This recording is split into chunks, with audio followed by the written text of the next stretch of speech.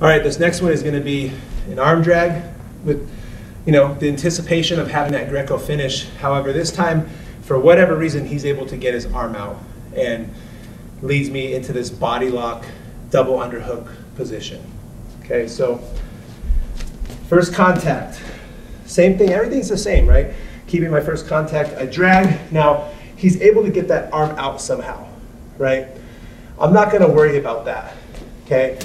I still drag, look at where my hands are, okay? If I end up here, for some reason, that's fine too, but I'm gonna talk a lot about pulling and cinching with a lot of these moves. So I end up here in this double underhook position, right? What I wanna do is finish my arm drag or the same movement that I had before. So I'm gonna take my hands here, cinch, and change my levels as I cinch on his back, hips in. Look at how it elevates his back leg. Now, all I gotta do is uh, corkscrew and take a big step, boom, taking him either straight down to his back, or if he bellies out, you still get your points. Okay, one more time. So let's just have you facing this way just so they can see my lock.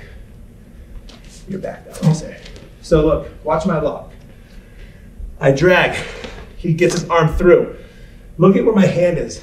It's already cinched. That's natural, my movement.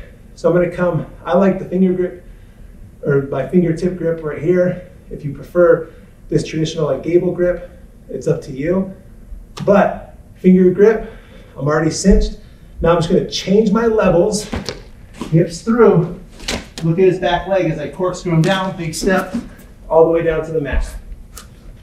Okay, that's gonna be scenario based, based on how your opponent reacts to your arm drag. So give that one.